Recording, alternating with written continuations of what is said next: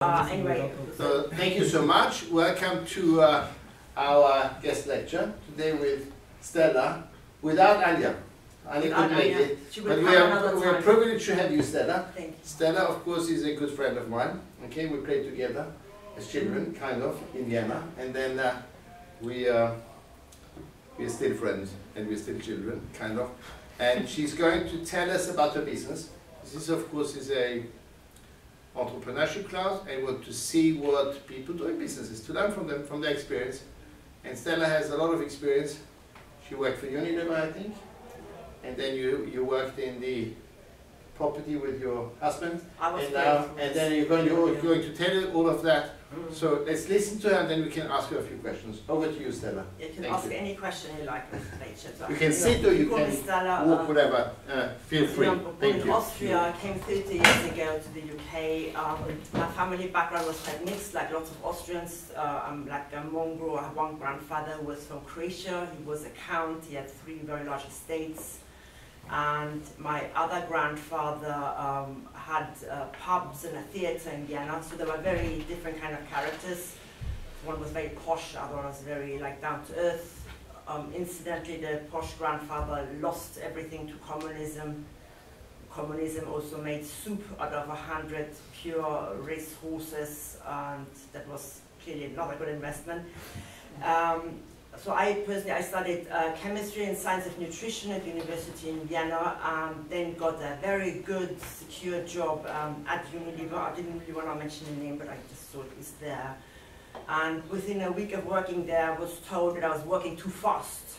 I need to slow down because I wasn't reflecting well on my co-workers because they were obviously always working very slowly. So for about a month I tried to work very slowly, but it was very difficult for me to do that. And probably that whole department could have managed on 40% of the staff. And I like to work hard, like to play hard, but I also want to reap the benefits of all the work I do. So I decided to throw it all away. My mother had a nervous breakdown. It's a secure job, and all the benefits and Austria benefits are much better than many other countries. So, uh, but I, I just couldn't because it's important that you get up in the morning and you really want to do what you're doing and not feel like you're sitting off time in order to get some money somewhere. Because in the end, I think find the job you love and you never work again. And I relocated to London. I got a job first in a small property company in a marketing department, and then later in a hotel group. And later I uh, moved to another hotel group that uh, my husband then worked in. I worked first in sales, um, which entailed a lot of travel to all over the world, which was very exciting. I hardly saw any of the sites there, but it was really exciting to meet people from all over the world. And later I specialized in sourcing properties um, with long leases for uh, a hotel group, which entailed going to lots of conferences and networking as well. I really enjoyed that time. It was very fast and involved a lot of drink and socializing and so on. Um, but um, 10 years ago, I decided I wanted to live a more settled life and uh, chill a bit, and I thought I'd open my own business. I probably worked equally hard in my own business, but it's my own. So, and obviously that type of business was very much led by the experience that I had. So I opened a property management company, and uh, my focus is on development, which is when you like take something and make it nice before it's not nice, and then managing when it's the finished product. And at the time, I personally owned two flats, and I was quite fed up with how estate agents were charging huge amount of commission for tiny little jobs, and also they picked tenants that were actually not very good. So because I didn't care, they got their commission, and if anything went wrong afterwards, it wasn't their problem.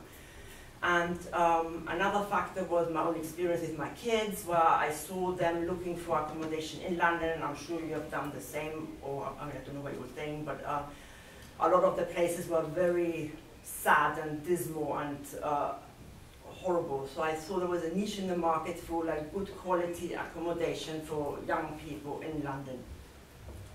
And uh, around the same time, 10, 15 years ago, a new concept came up in the property industry, and it's called PBSA, that uh, stands for Purpose-Built Student Accommodation. And today's lending world, that's like the golden ticket. Everybody wants to invest in PBSA because this is the best of the best, and everybody believes that it's the, the future um, to reap a lot of uh, great yields.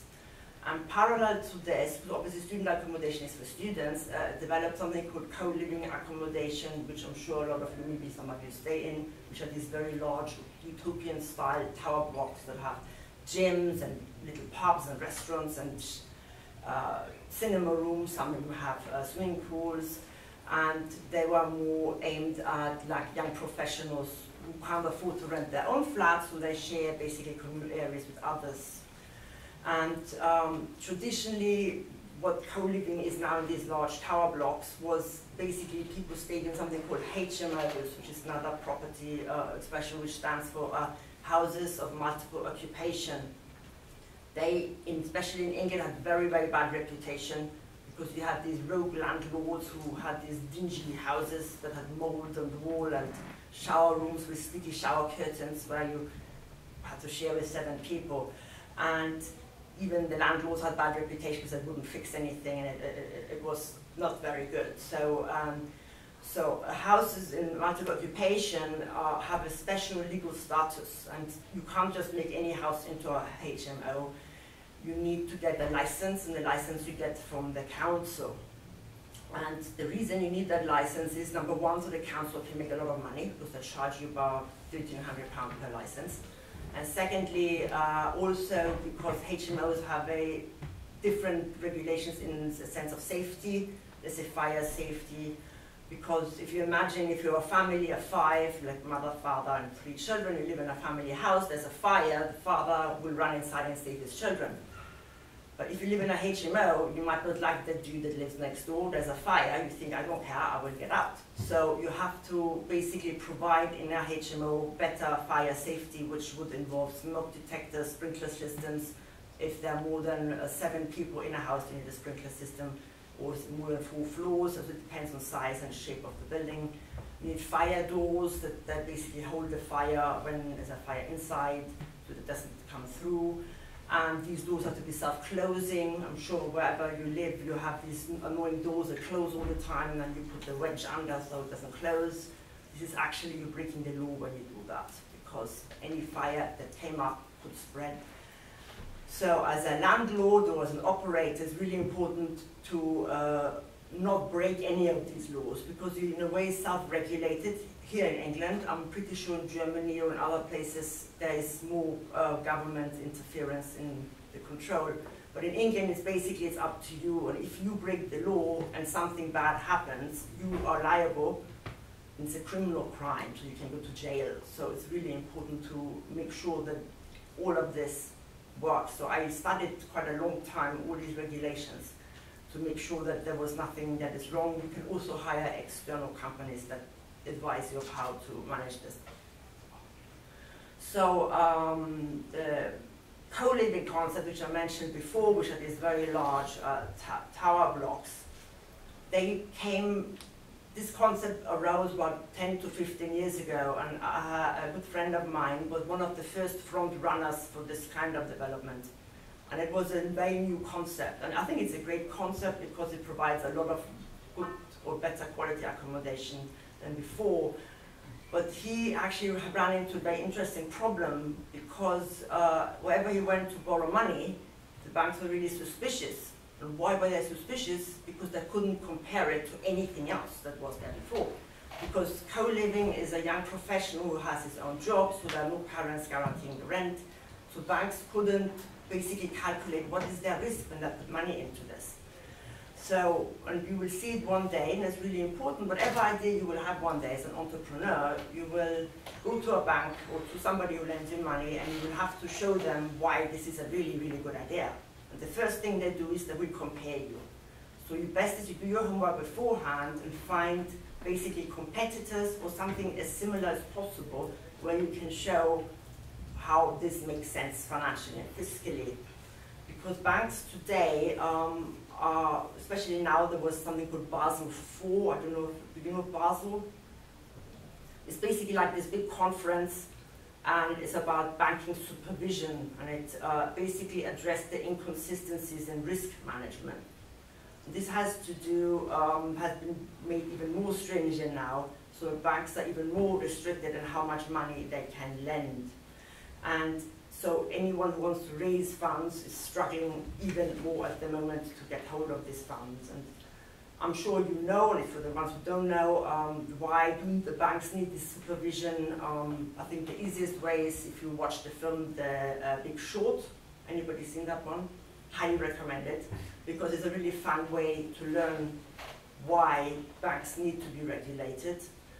And uh, what happened at the time, for the ones who haven't seen it, is basically uh, banks were lending money, sometimes 110, 120% of the value of a property to investors, even like individual people. And once uh, property prices dropped, people couldn't basically pay these uh, interest rates back. And that's why we had this massive banking collapse and property collapse. And it, it was very bad in the whole industry. I mean, I remember that time it was very dire. So I understand that banks need to be regulated in the sense of how much they lend and who they lend it to and why they're lending it. And um, therefore, when you have a concept, you go somewhere to borrow money, be prepared that will go through it and best is to prepare these comparables with the comparison that they want to see. So back to my own story. Um, so I dealt originally in my job with very large developments like student housing and co-living. And once I started my own business, I wanted to do this co-living enterprise. But I realized also during COVID that there was something that is really important to a lot of people, which is uh, social connectivity and meeting people and making friends.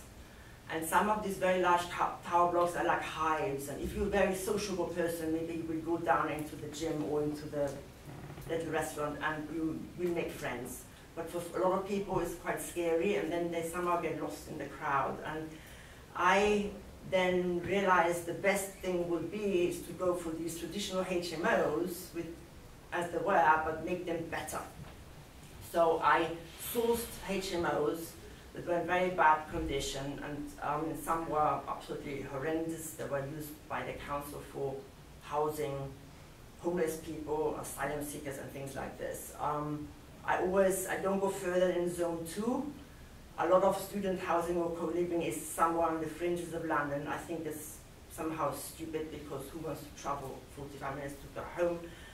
Especially if let's say you work in the city and then you have to go out in the evening with your client and then you want to go home afterwards and then it's two in the morning. So, um, so I try to be in zone two. I try uh, to have a tube station at least within five minutes of that place and some infrastructure like shops, restaurants, pubs, and so on. Um, so in that refurbishment, I made sure that I put as many shower rooms into each property as possible. There were very good quality shower rooms, even with like nice details like mosaic, but they like plain and uh, good quality. Made sure massive boilers with lots of hot water, very good heating systems, um, professional grade Wi-Fi. So even if some everybody was working from home, they would all have got a problem and use Wi-Fi. Also important, obviously, a pleasant and clean wooden furniture, a lot of storage, and my kids at the time uh, devised this new adverb called Instagrammable. So the, it had to be cool enough that people want to take an Instagram in it. So I implemented all of this, and additionally to that, what we did is we curated our tenants. So we decided this kind of building will appeal to this type of people, and we made sure that every single person in this building will get on with the other one. And there's no guarantee, but by checking over, let's say, Instagram, you can see if people will gel or not and have a similar kind of idea of how they want to live. I only pick usually kids where I know that when I get someone in life and do something, you know, someone who wants to lay in bed all day and eat crisps. Maybe um, that's like my personal idea of, of, of mentoring as well, uh, which I have done to some of my tenants and we get on with all our tenants exceptionally well. They've invited us in for cups of tea, and uh, last week my daughter was invited for dinner. So it's actually a, a, really lovely way to make actually expand your network. So um, and it's probably a very unusual way to run a property business, but this personal aspect is really uh, important. And additionally, what causes problems in shared accommodation is um, dirt. So we send somebody in to clean it because it's hard to clean something if you don't know who made, made it dirty. So if somebody else comes in and cleans it, that's uh, easily remedied. And a cleaner doesn't cost that much, but a lot of landlords are too stingy to pay for it, which doesn't make sense.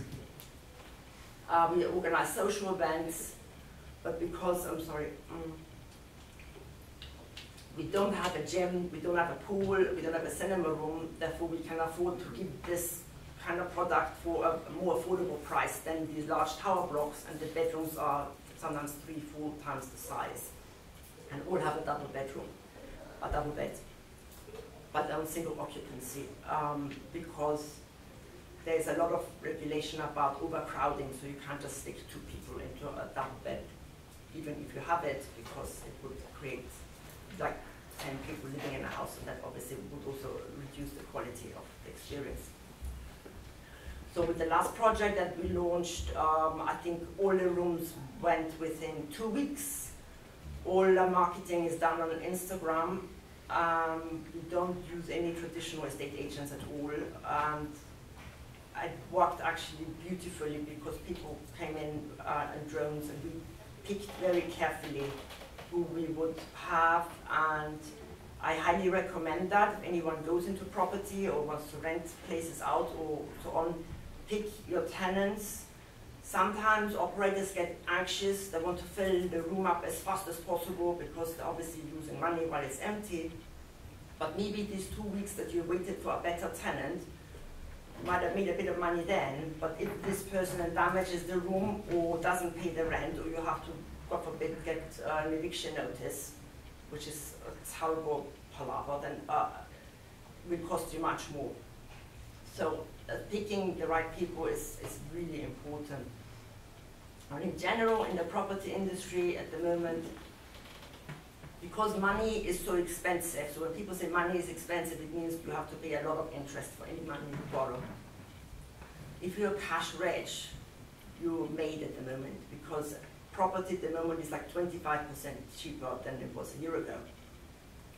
Because of these new um, Basel IV rules, banks have been have really great difficulty lending money and it is expensive, so the yield also has to make sense. So it is no point, oh, I'm borrowing this money and I'm building this very nice building, but it doesn't make uh, bring the returns in that you need. so the opportunities in the property industry at the moment are obviously what I mentioned is the purpose-built student accommodation, which is like the golden child at the moment. Co-living, um, data centers, which I don't know nothing about, but this is obviously logically something that a lot of people would invest in. Uh, assisted living facilities, so that's any kind of place where people live that need help, so they might be old or sick or recovering from something. And that's a very great business, but the investment into staff that has the qualifications to run these places is really big. There's also problems probably liability so I, I would only do that if you had a partner who really understood that aspect of care, basically. And staff is very difficult to source at the moment. uh, another asset that a lot of people invested in was storage and warehouses. They were a bit overpriced, I think, during COVID. Everybody thought Amazon and everybody wants all these deliveries. It's going to be the biggest thing ever, which obviously Amazon will never go away. But for some reason, there was a bit too much investment in storage and warehouses, so I wouldn't buy any of those at the moment. Um, also, a lot of investments were made in life sciences, which is basically laboratories or medical facilities. They turned out to be less lucrative um, than expected. Another thing a lot of people invest in, and there's a big um, take in England, uh, is film studios don't know anything about film, so um, I can't advise that, but maybe Professor Schmidt can source somebody. Um, So as I said, because money is expensive, it's really hard to reap the yields on your investment. So what we did is we basically made it as good as we could, offered services that were extra to be able to charge more for that room, but it was basically a good value to the tenant because they had the cleaner, they didn't have to worry about who is paying which utility bill. They had the social uh, aspect as well. And uh, by adding that added benefit, you can basically charge for this. And this is something that is not connected to what you're paying for the building. And um, a lot of my kids were asking once, uh, what, what have you learned in life that you wish someone had told you at the time? And, and I, I made them a little book, and I, I took some extras out of it, um, which I share with you. Um, uh, one sentence I heard a lot is, uh, I don't know if you've heard it before, is that bank managers give you an umbrella when the sun shines, but they take it away when it rains. so it is number one, very, very important to have a good connection to your bank manager. Because it can make all the difference. If you're really in trouble, if he likes you or she likes you, then you will, uh, maybe there will be the difference if you survive or not. Um, also, bank managers want to work as little as possible. And you can use it to your advantage because, um, for example, a friend of mine had a big office building and he had a cash flow problem and his bank manager is getting really nasty and he's sitting there in this office and he's basically with his back to the wall and this bank manager says, I want all my money now and I don't care where you take it from. And he felt this bunch of keys in his pocket with all these offices in his office building. So he took the bunch out and he put it on the table and he said, why don't you run that business yourself? He got up and he left that was very risky. I, I, don't think I would have the guts to do this. But what happened is, um, about an hour later, the supervisor of the bank manager phoned him, apologized, invited him back to the bank and gave him a new lending terms. And he basically had a new bank manager who was on a higher level, which was much better because that guy had more brains in a sense.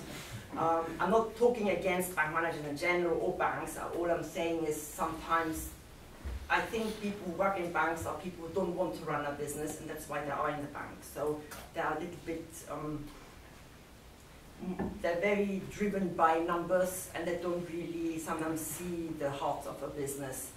And therefore, it's important if you actually bring them to your business and show them your business, show them the staff, and show them what you do there, and that will make them emotionally much more involved, and then they will have your back when you really need them. And I've seen some cases where banks had absolutely no scruples to take away a property. And um, I have a friend who developed a very large property uh, and he had bought a hotel for 33 million pounds in central London. It was a very clever concept. And unfortunately, he went bust in the crash. And the bank sold that very same building back to the original owner for 12 million pounds. So that original owner made 21 million pounds in one year without moving a finger, basically. So, and the bank didn't care about that. They were only interested to get the 12 million back that was theirs. That they have no interest in the actual value of that building. Even maybe it wasn't worth 33 million anymore, but maybe it was worth 25 million. They could have sold it for 25, but they were in such a rush to basically recoup that loss and had absolutely no regard for um, basically the waste that they uh, created there. I'm not saying which bank that was. So, um, so um, while you are an entrepreneur and you go around and you network your way around, you will meet lots of lovely people and they all want to sell you money because they're on commission. They will tell you glorious stories about all these amazing things you can do with all this money. But always remember, you have to pay it back. If you can't pay it back, then these people are not lovely anymore. So never borrow over the eyeballs, even if people advise you to do it, don't do it. Don't do that deal, don't do that, whatever it is, unless you absolutely have to, because otherwise it wouldn't work. Try not to do it other advice I give is um, lawyers. Always get the best possible lawyer you can afford. Cheap lawyers are a waste of money. They even cost you money, so don't. They have the best. staff. So as you grow as a business, you will have more and more staff. And that's something really important because staff are basically what keeps your business going. My late mother-in-law had a saying, and she said, staff are paid enemies. It sounds quite hostile, but she was in a way right.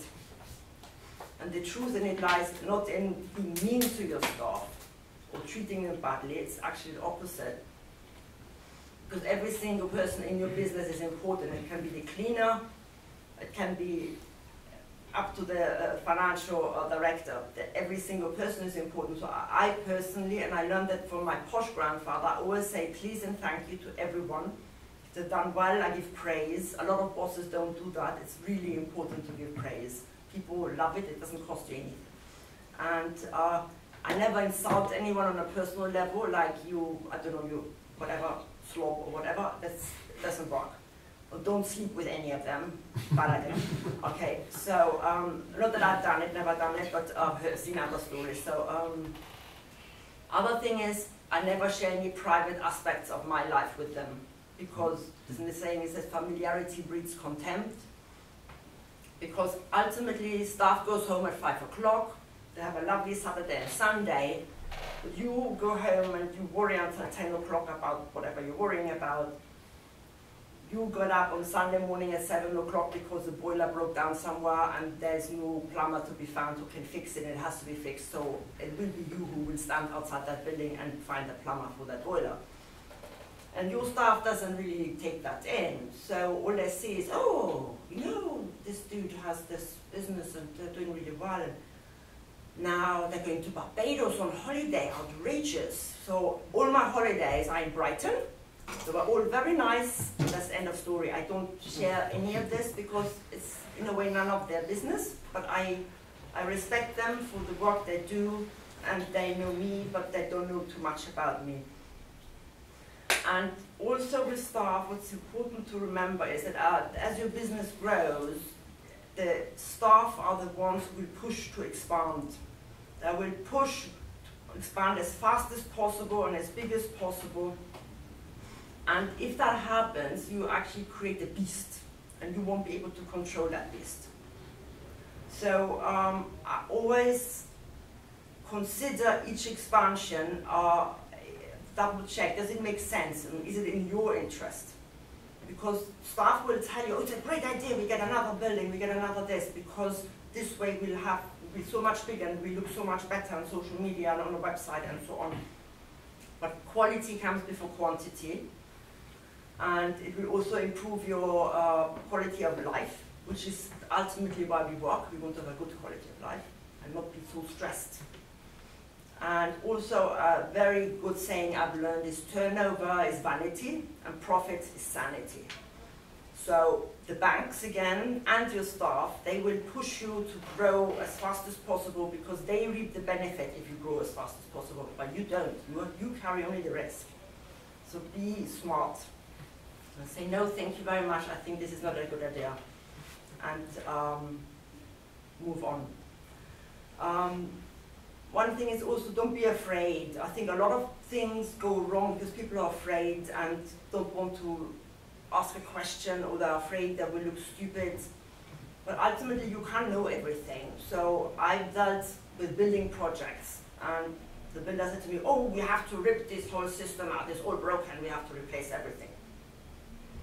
So then what you do is you go and ask questions. And these questions are not embarrassing, you have every right to ask a question, you're paying the bill. You say, why is this, what does the system do? Where does it go? How can it be done? Why is this broken? Where does it, what does it look like? And once tradesmen see, or any kind of supplier uh, sees that you're really interested in the workings of what they supply, they actually gain more respect for you. And they will see that, you know, the sheep, they will try it on. They think like, oh yeah, tell have to do all this whole electric, everything has to be rewired. Once you ask the questions of why and when and where, maybe you realize you don't have to rewire everything or put a whole new boiler system in. But uh, also, if in the process you see, yes, the tradesman is right, it has to be replaced. And if I'm in doubt, I always go for all new rather than doing a blotched up job, but in general, sometimes it's not necessary. Um, if you have to get a new system, whatever it is, you will at least understand what you need, why you need it, how big should it be, do you need it that big, maybe a smaller system box, how long should it last, and how can you repair it. That's also very important, and therefore it's important to understand a lot of things where a lot of people say, oh no, that's too much for me, I don't want to know. And another thing uh, with advice that I would like to give is uh, when you buy a property, hire a good surveyor. This is the guy who checks the property out and sees what's wrong with it. And that can be on the legal aspect and physically the bricks that you see. And good lawyers. Estate agents, I personally, I hope nobody is an estate agent here, um, don't believe anything they say. They in England, they can make verbal, even, even written promises, and they don't have to be true.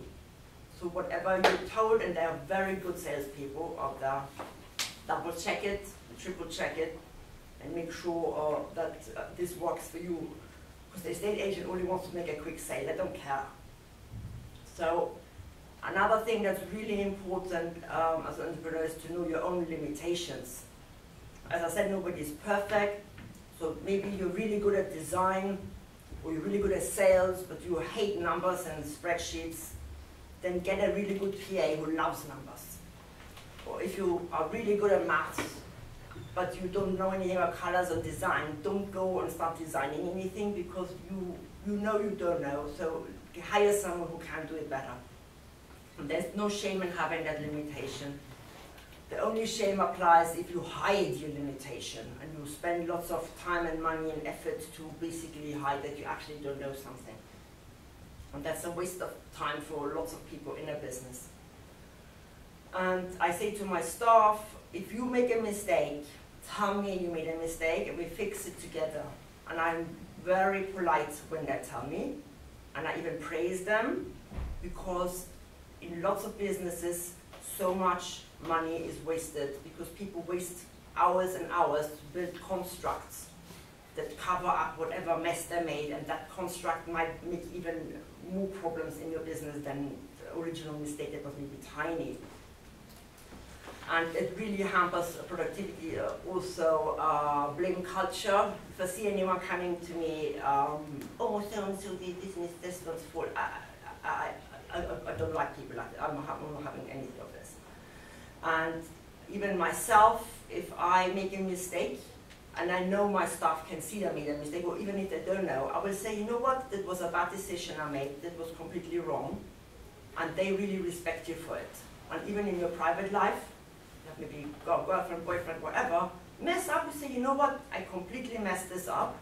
The respect you get for that is so enormous, much better than people who find these long-winded excuses of why somebody else is to blame for it. Another thing in the property industry, but probably applies to many other businesses, is uh, never cheat.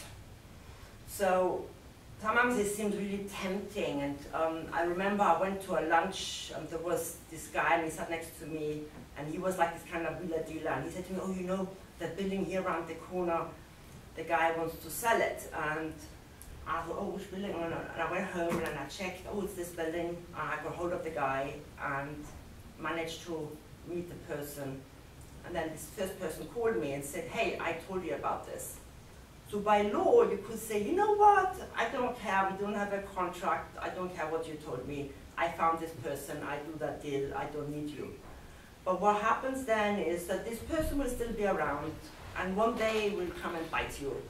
One day that person might have an amazing deal, but they will not phone you, they will make sure you never find out about it. So to be stingy on a little amount of money in that case is, is not worth it. So you go, and even if that person doesn't know about it, that's even better. You phone them up and say, you know what, you told me this thing at lunch, and I actually met that person, and they want to send me this. I want to thank you for this, so I want to send you this and that. And either you send them a present or a card, or usually it's commission if they want it, because cash is king. And uh, it makes sense to do that. So. Um, so um, another thing I saw uh, was be brave and oversell yourself. You know, a lot of people nowadays they feel like, oh, I'm not, good enough, I'm too young, or I don't know anything, and whatever. You know what? Just go out and make yourself look as good as possible. Be brave. And I had a PA who came applied for the job, and I saw straight away from her CV that she wasn't qualified enough for the job. And then she said something very clever to me, and I recommend it to anyone who wants a job. She said, I will work for free for two weeks, try me. And I thought, free? Two weeks? Great, come in, you know? And so five years later, she told me, you know, I had absolutely no freaking clue what I was doing. I Googled everything. I taught myself how to do Excel, uh, everything. And I said, I know, but I've seen you, you worked harder than anybody else in this whole business. And it was, she was the best PA I ever, ever had. And unfortunately, she had a baby and left, but um, I miss her. Um, another thing is trust your stomach. If you are in a situation and your head is telling you all the time that the numbers don't make sense or this and this says, uh, if your stomach says something, listen to your stomach. And I, I'll tell you this, was 30 years ago, I was driving with my husband through an area in London and I saw this very large red brick warehouse with these black crystal, very large black crystal windows. And everything inside was full with rubbish, like old cloth or rolls of whatever, dirty. But I looked at the building, I said, this is amazing. Uh, we should buy this and turn this into a hotel. And he said, nah, who would come to this area here? Anyway, that building is now a loft apartment around the corner from the Nobu Hotel in Shoreditch. So I told him the other day, you know, that was a really bad mistake because we would have bought that really cheap at the time. So sometimes even if you don't know the area or you don't know a place, maybe you know better than the person who lives there because you're looking at it with an outside perspective. So if your stomach tells you something, follow it up, research it, see, read up on the area or read up on whatever area you're trying to explore. And it really makes sense. Um, and uh, another little note, which is maybe more personal, but um, I'm sure some of you have families that might be able to help you if you want to start a business one day. And as long as the families don't bind you to some onerous conditions, like in, I don't know, in succession or something like this, um, take the help. Because I think today there's this whole mentality out there that a kid that comes from a family that has done well is somehow bad and needs to be treated with contempt. But first, you didn't ask to be born. Secondly, coming from successful families is a lot of pressure sometimes. There's a lot of expectation. And uh, also uh, a lot of stress involved with it. So you earned who you are, and if you have someone who wants to help you, it can be your godfather, your god uncle, your mother, your father, or whoever, then let them help you and don't let this whole mentality bug you down. You have to be grateful for the chances that uh, others don't have. And you have to prove to the world that you are worth it and also help others that don't have the same chances, not as lucky as you. But this mentality, the moment I see a lot of kids that are somehow giving up because there's this kind of um, it's quite aggressive in a way I perceive it. But um, so I would say be confident, go up with your head held high, and I also believe in epigenetic that you learn a lot through your genes and you bring it with you into your new life. You might not know it, but you do. And with that, I uh, hope it all goes well. And if anyone wants to connect and ask me questions, uh, I know mainly about property, but anything else I can help with, I'm very happy. Thank you so much. that was uh, fascinating, uh, talk. You have some questions? You got a question. Gaga. Uh, yeah, in the beginning when you started your company, uh, were you only financing your uh, properties through uh, loans or did you have investors? The first property I actually had, I based on uh, three townhouses that were um, that I owned already, and they were in a terrible condition, and I had rented them for 20 years to the council, and they were so bad that the council even didn't want them. So when I looked at them, I thought I'd start with those, but I put my own money into these first three. But on top of that, once this was all up and running, you obviously can go bring the comparable to the bank. and you can show, look, I did this, I put so much money in, people are paying so, so much in rent, and this is what you can get out of it. And that's when it's much easier to get the money than if you go in the beginning, because bank managers haven't got a lot of imagination. You show them some shoddy house where everything is in a good place, they, they can't see. And therefore, if you have the chance and you have the cash from anywhere or anyone, take, take that cash and start that way. And it's not fair to the wider world, I agree, but at the same time, if you can't do it, and I I feel really happy because I, I give homes to so many young people in London who are really happy, and so I made a difference in the world, and that makes me happy too. So, um, yeah. You had a question? That's a question. Yeah, I just I thought about I don't know if you want to speak about it, but how like big is your portfolio today, or how many uh, properties uh, do you run? So I I try to keep a, a low profile, and I do that because I, it, it makes my life much easier. Because you don't have then people saying, oh, yeah, she has dinner. So it's, uh, it, it, it makes it better. So I think at the moment I'm housing, I think, 120 young kids. So I'm not the biggest operator in the world, but at the same time, it's all mine, and I have full control over it. And uh, it's, um, yes, that's what I do. Any other question? At which interest rate would you buy properties again? So that's an interesting one because at the moment prices are really low, interest rates are coming down. There's always the big question everybody's discussing: will they go up, will they go down, where will they go? And I don't think it would ever go as low as it was before. Um, at the moment, it's coming down, and I think it all depends on the property itself.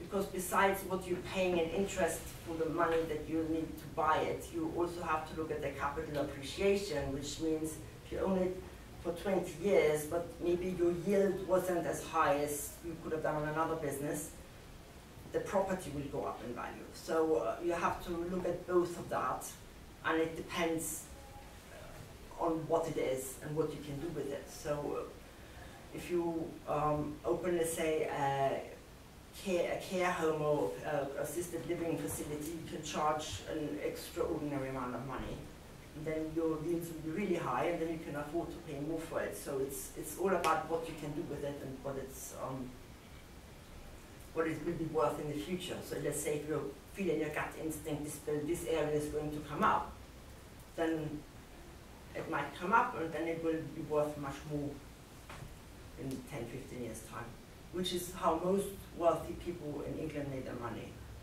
So that's why I was surprised that nobody was interested in real estate. So. Any other question? Yeah? Um, how are you usually financing your projects, like lending from the bank or co-investing in bigger projects, or how, how do you normally go about that? So I invested originally some of my own funds, and then I uh, borrowed money from a bank. And I also have a very dear friend that I met at a, a property fair in Cannes, and she's one of the big shots. I can send you around actually if you want Yeah, we invite her, yes. You know. Candice? No. No, okay, no, she's she's good fun. Uh, so She's she. the next one, she's a follow-up. Yeah. Very good. No, Next she uh, she basically does these really big deals where she lends money to massive players who borrow 200, 300 million mezzanine lending and all, all these very complicated structures. And uh, she has basically runs this outfit where people with money come in say, we want to invest money. They find something to invest in. So some money I got from a bank and some is a private investor who invested into me and she's the broker in the middle. But obviously from her point of view, when the interest rates all went up and property prices went down, for them it's also risky because if an operator then is struggling to pay back, then their investor will obviously put fire under them. So it's a, it's a different kind of system, but it's, it's, an, it's that's why the network is important and know the right people. Just to just walk into the branch of whatever bank on the high street, it's not going to work. It's, uh, it's, it, you need to have a lead. And the best lead is to go to these conferences. And there's all kinds of weird conferences, and you just walk around, you talk to everyone, give everybody your card. And then you meet one person who recommends it to another person. That's how you then find the right source or whatever. I have two questions for you. Yeah. One is an ed- educational one, and the other one has to do with about business. What do you recommend to people to learn Yeah. to get into any business, in particular into the property business? Is there anything that you recommend that these are undergrad students here? Mm. Should they do their postgrad now in property management? Should they become surveyors, or can you just start like you? You got a degree in chemistry, Which had Community, yeah. to do with it, which you don't use, and you became a very successful property uh, By investor default, yes, with yeah. your husband and now your own. Um, And so on. Is there something on the uh, educational side, or can you just pick it up yourself? I think it depends what your where your strengths are. So if you're really good and you like structural stuff and physics and maths, and you learn to be a surveyor, you will do really well. I think if you have actually the knowledge of a surveyor, you can go to these property auctions, then go and look at these buildings yourself whenever you have time, and you can see immediately what is wrong with it and what you have to spend on it. But if you're not into physics and, uh, and, and- building stuff and whatever, then you know this is your limitation, so you need to get somebody else to do this. You have to look at what are you good at. So are you really good at sales? Are you really good with people? Uh, maybe you don't need to study anything. At the same time, anything you study will bring you that one level up. And I saw with my own daughter who studied uh, business management in Leeds, when she got a first, and she worked um, in finance for a year as well, and she's really good with people, and she goes around and chats with them. But it does help if you understand basic ideas about business and what, how investment cycles work and so on. So um, if you if you want to be an entrepreneur, you said what Yeah. you should study. Um, I think go for what you where your heart is. I think people think too much with their head and they think, oh, my father wants me to study law and I study law, but you're a really bad lawyer. That's such a waste of time. So I think study the closest to what you want to do that you are good at. So if you really, I mean, there are lots of interior designers out there, so I wouldn't recommend doing that. But maybe study architecture or study um, business management is always a good one because any business you can manage by having a business management degree. And uh, if you're able to do physics and all of that stuff, then go into anything like surveyors or whatever. Everybody needs them. Architects or uh, structural engineers. But that's obviously a very hard thing to study and it's not necessarily everybody's cup of tea. So, um, so come from where your natural strength lies and home in from that direction. That's. Thank you so much. It was fascinating. Thank you so much for Oh, your explanation, for your insight in particular, and I think we learned a lot. I think rather than studying it, we learned it by inviting you and getting you as a guest speaker, and hopefully you come back and perhaps some of your I friends. come back you and said bring Anya next time. Thank you so much. And of course, you're invited to uh, connect with uh, uh, Stella, who is on LinkedIn. Stella? Who Uh, is Stella? I'm Stella. I'm sorry. Who? Oh, you can connect. Yeah, me. yeah, yeah, you yeah, can connect. Absolutely, yes. Who is Stella? I See don't you, Stella. use LinkedIn very much, uh, but you're very welcome to connect with me, and um, I will obviously reply. If you have any questions, or you have suddenly an idea, or you're not sure, maybe I know someone who can help you. I'm, I'm very much for mentoring and helping kids because you're the future, and you need to get somewhere, and uh, it's happy to do that. So, Very good. Anyway, I Thank you. wish you all good luck. Thank you so much. Thank Thank you. you. Thank you so much. Thank you. Thank you. Thank you. Yeah, Good. um,